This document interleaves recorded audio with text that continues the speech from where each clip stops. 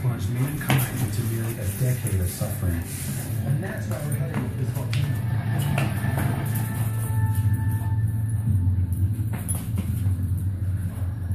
The Kawah Ijen volcano is 500 miles east from Krakatoa in a remote part of Indonesia. Miners work the site collecting sulfur, which is used to make gunpowder and fertilizer.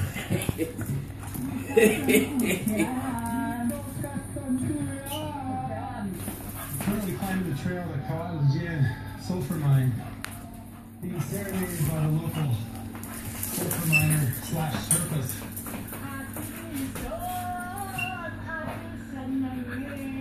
Wish I knew what they were saying.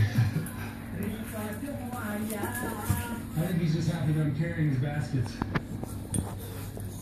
Here comes somebody with a full basket, which I'm hearing I'm gonna do next.